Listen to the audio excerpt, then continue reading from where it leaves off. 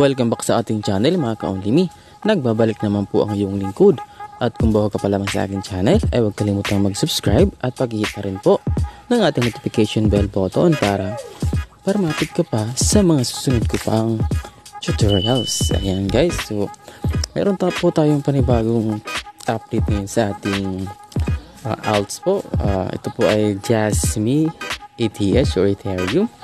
So ayan po, ito po yung ating uh, crypto coin update ngayon sa token ito na Jasmine ETH. Ayan. So, panoorin nyo lang po ang aking vlog hanggang sa matapos po ito. Ayan guys. Para lang po sa mga updates po sa ating nag-crypto po dyan. Okay? Ayan.